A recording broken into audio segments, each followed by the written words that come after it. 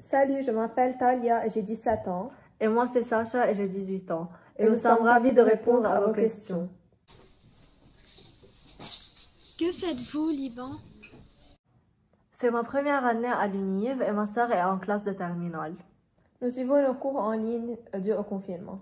Êtes-vous déjà allé en France? Oui, nous sommes déjà allés en France et c'est un très beau pays. La population du Liban est-elle jeune ou âgée? Notre population est plutôt jeune. Combien y a-t-il de réfugiés de sans-abri? La population totale libanaise est de 6 100 000 habitants, dont parmi eux, 1 600 000 sont des réfugiés. Les réfugiés syriens constituent 20% de la population libanaise.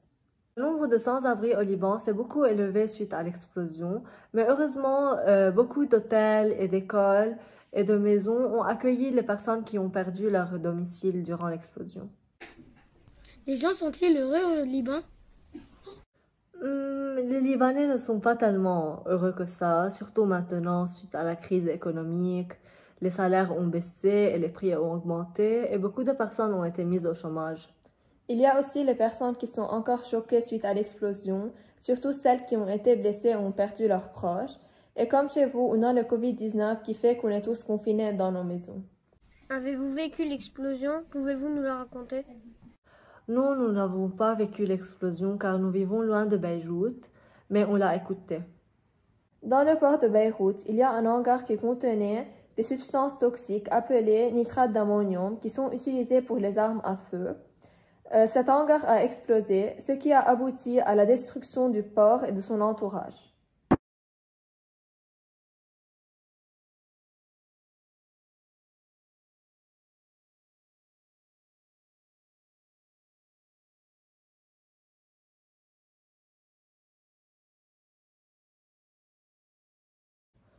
Il y a eu beaucoup de morts et de blessés et même des personnes qu'on n'a pas retrouvées.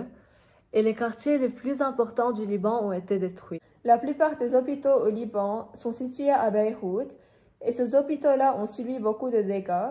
Les médecins et les infirmières ont dû traiter les blessés devant les hôpitaux avec le flashlight de leur téléphone. Heureusement, un très grand nombre de jeunes est descendu à Beyrouth pour nettoyer les quartiers, en balayant les débris de verre et en aidant les personnes ayant perdu leur maison à récupérer leurs affaires et à nettoyer la poussière et tout. Et beaucoup de ONG sont encore jusqu'à maintenant en train d'aider ces personnes-là. En leur offrant de la nourriture ou bien un logement ou bien autre. Des médicaments.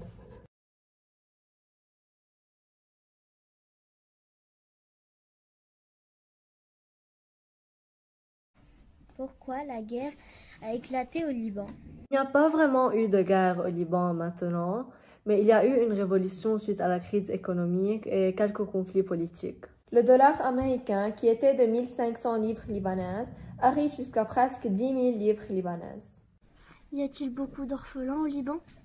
Oui, comme dans tout autre pays, il y a des orphelins au Liban, mais ce nombre a bien sûr augmenté suite à la pandémie et suite à l'explosion. Y a-t-il beaucoup de pollution au Liban? Oui, il y a beaucoup de pollution au Liban. Euh, on ne fait pas de recyclage et nos déchets sont jetés dans un seul lieu sans être traités. Notre mer et nos rivières sont aussi polluées. Quel est le sport national au Liban? On n'a pas vraiment ici de sport national, mais le basket c'est sérieux. Quelles sont les stars libanaises que vous connaissez? Il y a la chanteuse Shakira et il y a aussi Mika de The Voice France. Il y a Elise Saab, le styliste d'haute couture, et Nadine Labaké, la réalisatrice qui a fait le film de Kafarnahoun, si vous avez, si vous avez entendu parler. Il y a aussi l'actrice Salma Hayek. Combien de temps allez-vous rester au Liban? Nous comptons continuer nos études en France, mais après ça, nous allons revenir au Liban. Y a-t-il plus ou moins de visiteurs au Liban depuis l'explosion?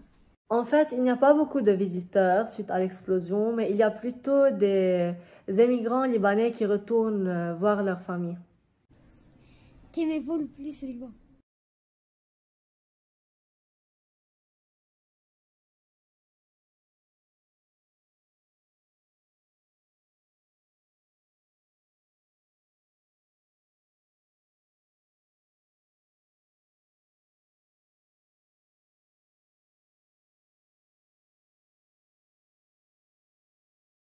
Merci. Au revoir.